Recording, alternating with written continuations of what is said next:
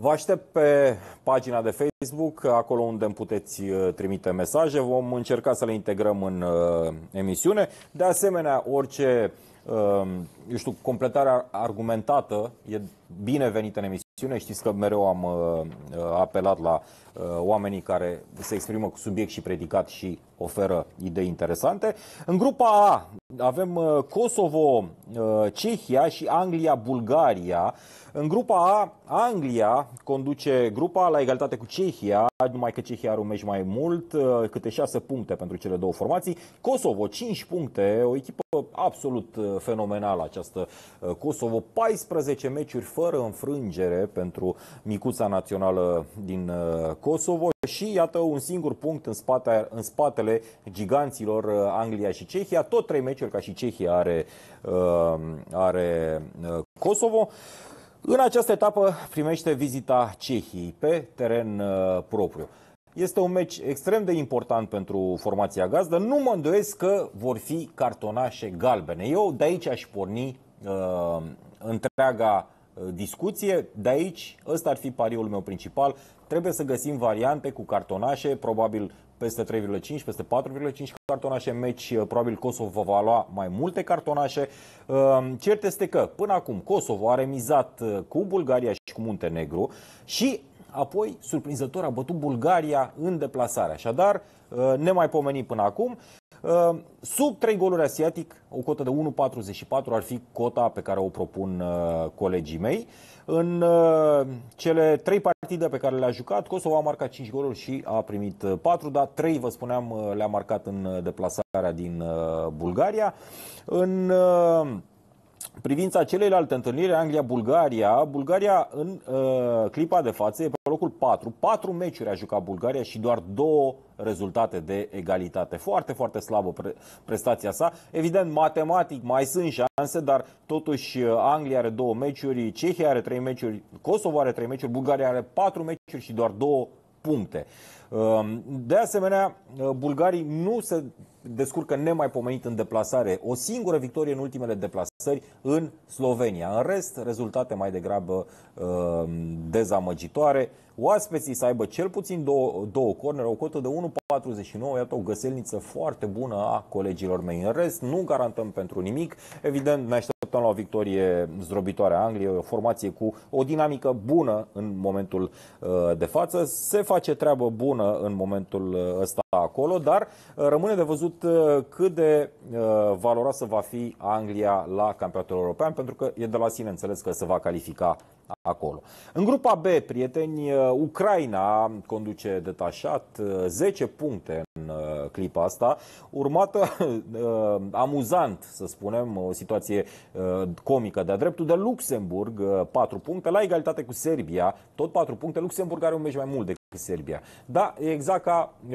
eu știu, partidele acelea când România, Dinamo, pardon, o conducea pe Manchester United sau Liverpool, nu mai știu, la un moment dat, pe fostul 23 august, făceai poză cu tabela, nu? Sau pe Lazio, conduceam cu 1 la 0 și uh, ne făceam poză cu tabela pentru că știam că nu va rămâne acea, uh, acea uh, situație prea multă vreme. La fel și Luxemburg își pot face poză cu clasamentul, uh, e ceva nemaipomenit să fii pe locul 2 după Uh, patru meciuri. Portugalia are două puncte, uh, dar doar două meciuri. Portugalia relaxată pentru că a câștigat uh, Cupa Națiunilor și Liga Națiunilor, pardon, și evident e calificată la campionatul european. Serbia a făcut 1-1 cu Portugalia, a pierdut 5-0 în, în Ucraina, un rezultat care cu siguranță îți uh, creează probleme, probleme de ordin uh, moral, de ordin uh, al pregătirii psihice, să spunem așa, al moralului cu care abordezi partidele și a bătut Lituania cu 4 la 1, dar ăsta e un rezultat mai puțin important, Lituania fiind și ultima în grupă. Pontele noastre sunt următoarele, peste 1,5 goluri la această întâlnire, o cotă de 1,40, iar la Lituania-Ucraina 2 și sub 4,5 goluri e o cotă de 1,44. Ucraina rezultate absolut uh, senzaționale în uh, momentul de față. 0-0 în Portugalia, 5-0 cu Serbia și uh, două victorii cu Luxemburg, dar astea de la sine înțelese. Așadar, probabil o nouă victorie a Lituaniei și sub 4,5 goluri, de ce nu, ca să mai creștem un pic cota. În grupa D, prieteni, Irlanda conduce cu 11 puncte, urmată de Danemarca, Elveția, Georgia și Gibraltar. Gibraltar, cea mai slabă formație din aceste uh, calificări, din aceste preliminarii. Georgia, Danemarca, peste 1,5 goluri la o cotă de 1,40. Uh, probabil că vă tentează și pe dumneavoastră uh, pentru un uh, bilețel, în vreme ce uh, uh, cealaltă partidă din grupă, Elveția-Gibraltar, uh, pare a fi uh, una care uh, va produce foarte multe goluri. Uh, rămâne de văzut cât de multe, nu marchează ambele și sub 5,5 goluri, spun colegii mei. Nu bag mâna în foc pentru acest sub 5,5 goluri. Cota finală însă e atractivă 1,70. Probabil cred că un handicap Elveția minus 4,5 ar putea fi mai indicat. Mergem în grupa C acolo unde Estonia urmează să întâlnească Olanda. Olanda avea 3 puncte în, în, până în această seară, a câștigat cu Germania, a ajuns la 6 puncte în 3 meciuri. Germania are 9 puncte în 3 meciuri, uh, dar în 4 meciuri, pardon, după ce a pierdut în această seară. Uh, lupta pentru calificare deschisă, foarte interesantă situația asta între Germania și Olanda, pentru că E un, mai mult un joc al orgolilor. Chiar dacă orgolile astea sunt puse un pic uh, diferit în, uh, în lumină, Germania vine pe un mondial foarte slab și evident ar vrea să fie consistentă pentru a pregăti europeanul care uh, urmează, în vreme ce Olanda, care a lipsit la ultimele două turnee finale, iată, nu doar că impresionează plăcut, dar și acumulează un uh, moral uh, foarte bun. Irlanda de Nord uh, și ea își poate face poză cu clasamentul pentru că nu va dura foarte mult această situație. Ponturile pentru partidele noastre sunt următoarele. Estonia-Olanda peste 2,5 goluri, o cotă de 1,50 și de asemenea mă aștept ca Olanda să reușească o victorie la scor, așadar cam pe aici se învârt lucrurile. Suedia, Norvegia în grupa noastră, o partidă pe care noi evident cu cum să spun, cu sărăcia noastră, cu mentalitatea noastră păguboasă, ne gândim că ar fi bine să termine la egalitate. Până la urmă ar fi mai, mult mai important să ne vedem noi de ale noastre și să-i lăsăm pe ceilalți să facă uh, ce uh, fac ei, pentru că oricum sunt lucruri, vă spuneam, pe care nu putem să le controlăm. Noi putem să facem uh, niște lucruri, dar alea țin doar de noi. Suedia, uh, Norvegia, probabil un meci cu gol. Eu mă aștept ca Norvegia să marcheze, mă aștept să fie un ambele marchează și peste 2,5 goluri. Colegii mei sugerează varianta peste 1,5 goluri la o cotă de 1,40. Iată cât de uh, atractivă este această cotă pentru un pariu până la urmă foarte simplu. Spania joacă cu insulele Feroe, uh, gazdele cel puțin uh, două goluri în prima repriză. Asta în ideea în care uh, ați văzut Spania pare mai uh, bună în uh, Uh, prima repriză, cel puțin așa a jucat cu România.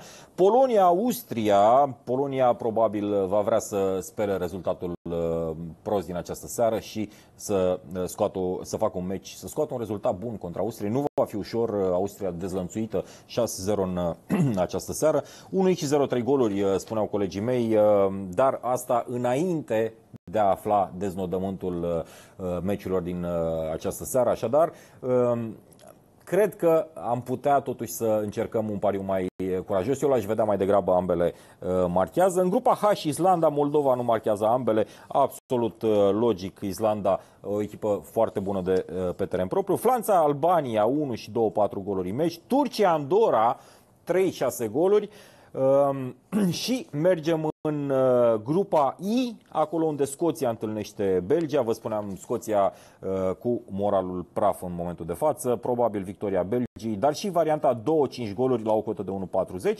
Finlanda, Italia în grupa J, uh, X2 și sub 3,5 goluri. Grecia, Liechtenstein, varianta 1 și sub 4,5 goluri la o cotă de 1,48 și Grecia aflată într-o situație similară cu Scoția, departe de calificare și evident dezamăgită de ceea ce a reușit uh, până în momentul de față.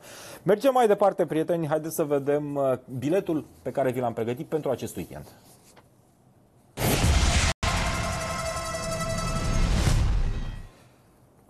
Un bilet în cota 7 v-au pregătit uh, colegii mei uh, pe site-ul nostru, pe pariur1x2.ro. O să vedeți toate detaliile acestui bilet. Uh, eu o să vă arăt doar meciurile în această seară.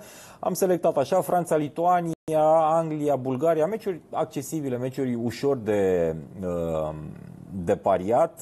Turcia, Andorra, de asemenea, în afară de aceste partide de fotbal, avem și un uh, tenis, uh, finala de la US Open uh, dintre Bianca Andreescu și Serena Williams, România, Malta și Grecia, Liechtenstein, un bilet foarte ușor, după părerea mea. Ar merge încercat o sumă un pic mai mare, poate un 30 de lei pentru o cotă de 7. Asta ar însemna cu 30 de lei pariați am putea câștiga 210 lei.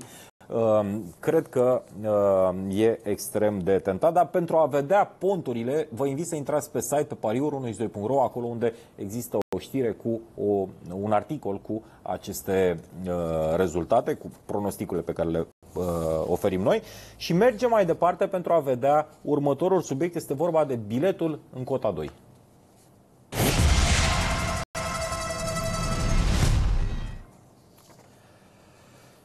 Înainte de a vedea biletul în cota 2, dați-mi voie să vă aduc aminte că astăzi a ieșit uh, câștigător. Să sperăm că acest bilet, uh, cred că uh, forma bună pe care am reușit să o avem în, în acest an va duce la satisfacții importante pentru pariori, dar iarăși vă spun ce v-am spus de întotdeauna, fără să intrați pe site pe pariorul1x2.ro și să vedeți strategia din uh, spatele acestui bilet în cota 2, nu veți obține mare lucru. E foarte important să știți de ce jucăm acest bilet și cum trebuie el uh, jucat. Vă citesc câteva dintre uh, pronosticuri. Uh, la ce linie de fund am avut, am scăpat ieftin uh, Dragoș Grigor, Toșca, Ehm, eu aș pune aici și pe Benzar.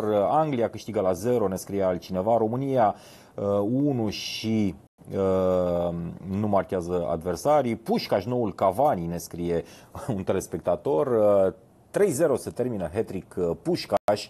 Uh, România câștigă la 0 și uh, Buzănescu Serena Williams, unul solist, o să vedeți că avem și noi un pont pentru partida aceasta. Așadar, biletul în uh, cota 2, uh, Turcia, Andorra peste 2,5 uh, goluri, Franța, Albania, gazdele să marcheze de cel puțin două ori și Islanda, Moldova, un solist.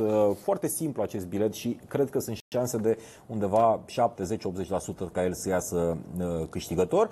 De asemenea, uh, dacă veți intra pe site-ul Sportingbet, puteți să forțați un pic uh, toate aceste pariuri. Spre exemplu, uh, Turcia-Andorra, puteți lua un handicap al Turciei pentru o cotă mai mare sau peste 3,5 goluri Albania, Franța-Albania, probabil o victorie la scora formației gazdă, iarăși putem încerca un pariu un pic mai curajos. Islanda cred că va câștiga la 0 sau la handicap, eu așa văd, la handicap de cel puțin un gol diferență Ehm, și în felul acesta biletul ajunge la o cotă mult mai atractivă, asta în condițiile în care Sporting Bet chiar oferă cote foarte, foarte uh, bune. Haideți să mergem uh, mai departe. Vă spuneam că uh, mai avem